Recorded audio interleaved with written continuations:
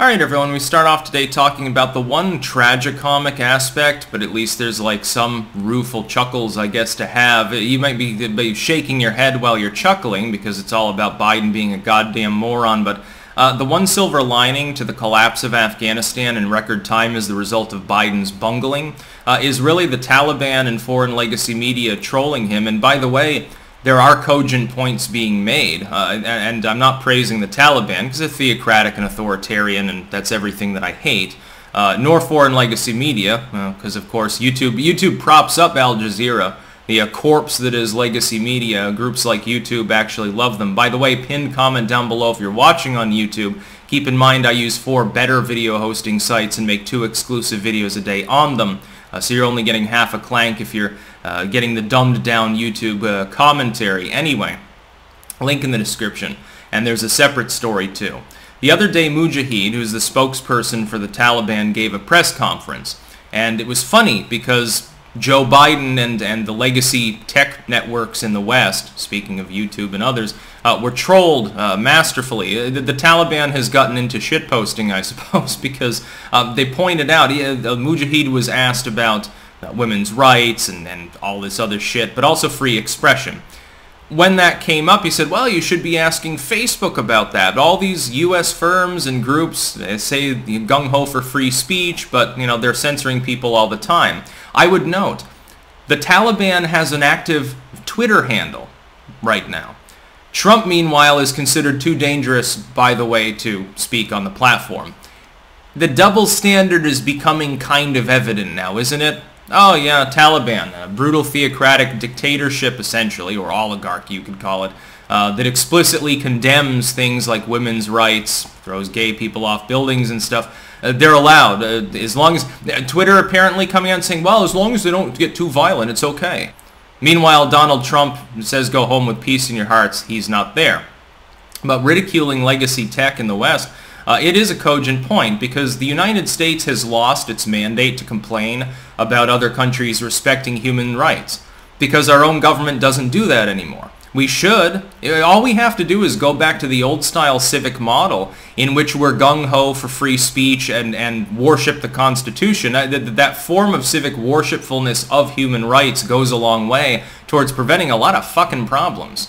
But we've abandoned that. In the wake of the Cold War, the government said, well, we got to crack down on disinfo. We got to crack down on propaganda while spewing it out 24-7. Uh, we've got to prevent people from having wrong think political opinions. It's again, it's funny. They're partnering with legacy tech firms to try to prevent people in the United States and in the West from speaking their mind politically. To the point where if somebody does and they have the wrong opinion, their bank cancels them and the woke mob comes to try to, to get them kicked out of their job and shit like that. Meanwhile, the Taliban's on Twitter. Then, link in the description the legacy uh, media, uh, Al Jazeera, uh, foreign legacy media, of course, uh, was talking about Mujahid's address.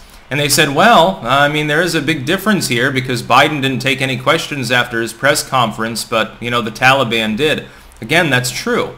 When Joe Biden gave his teleprompted, very carefully scripted speech, uh, it wasn't really an address because it was just, you know, bullshit talking points and straw man arguments which is why he's down oh, over 10 points potentially uh, in polling. We'll wait until the next round of it. So far, all we've got is Rasmussen, and, and that tends to deviate some from the aggregate.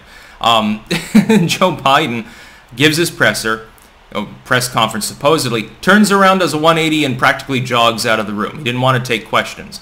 So then Al Jazeera's like, well, uh, that's showing. Taliban took questions. Yeah, and then it gave them an opportunity to rake Biden, by the way, over the coals and rake the Western world over the coals. The, the lack of response for the first 24 hours uh, in this, this fiasco gave everyone except the Biden administration the ability to put out uh, uh, talking points. Again, this might have been Biden's decision. When he goes into damage control mode, this is something that was talked about when he was candidate Biden. He's like a McClellan. He sits there and and second guesses himself and wants to hear from every advisor and shit and, and keeps changing his mind while other people attempt to hammer things out. He's not a doer, he's a thinker. Uh, he's not very strategic in the way that he handles himself because he's, he's I, I don't know, afraid of saying the wrong thing, which happens every time anyway. Uh, Biden's speech told the Democratic partisans everything they wanted to hear. Well, we had to leave Afghanistan. By the way, I take responsibility, but really it's the Afghan people's fault. We've seen 48 hours of the U.S. legacy media and groups blaming the Afghan people, essentially, or their military that we fucking trained for the fiasco. Blaming everyone but Joe Biden. Thankfully, there are a few people piercing that echo chamber. Even the legacy media is criticizing him. For the first time in his presidency, he didn't get asked anything about his favorite ice cream. I expect the next time that there's an actual press conference, they're going to say, well, what kind of ice cream does the Taliban like? I hope that uh, that dude uh, from Fox News, the only one that even half-asses asking Biden tough questions, Peter Doocy, I hope that's what he asks. What's what's uh, Mujahid's favorite flavor of ice cream, Mr. Biden? I'm sure that you know because you're so interested in that shit. It's all you are interested in. The silver lining is that we're going to have a never-ending spiel of the Taliban ridiculing the Biden administration and, and the way U.S. is working. For instance, I'm patriotic. I like the United States. I hope for the best for my country. But it's not getting the best right now. When it's not getting its best, you have to ridicule, you have to satirize, you have to point out what the problem is. It's hard to solve problems when you can't identify what they are. And so when I look at the landscape of the United States with all the id poll, with all the propaganda, with the abandonment of the concept of free expression, of privacy, of states' rights, when I see the Biden administration being openly hostile to these things, when I see Joe Biden arguing that Americans shouldn't have more than 10 bullets in a magazine in their goddamn Glock, but he leaves behind billions in weaponry for the Taliban, when the Taliban is confiscating weapons door to door using the same exact linguistic excuses that the Biden admin uses with regards to people. Well, man, you don't need all these guns. Uh, the, the military will keep you safe. Kind of telling now, isn't it? Of course it is. And they're being trolled expertly. That's because Biden doesn't know what he's doing. Biden literally doesn't know because he's not in charge. Biden gets the blame as the steward president, as the figurehead of the United States. Other people, his cronies, uh, a handful of woke generals that don't know what they're doing apparently either, uh, top brass, bureaucrats, lifelong political wonks. These are the people that are running the United States right now. Well, the problem is you can't have that kind of structure at the executive level and have good things happen. This is, this is why people from the legislature, by and large, shouldn't seek executive office. This is why you should go generally with a governor or somebody who's been in private corporate business like Trump, because they, they know executive things legislative individuals, people who have been almost solely in the legislature, like Joe Biden, he was a senator for several decades, they just don't know how to do anything without a bunch of other people around them uh, discussing things. Like a goddamn uh, Socratic dialogue or something like that. Well, that's not the way that you govern in the executive sense. There's a reason why you have that system in the United States where you have the executive power and you have the legislative power and they counterbalance one another. Biden's an inept. He's a lolcow. He's a laughing stock.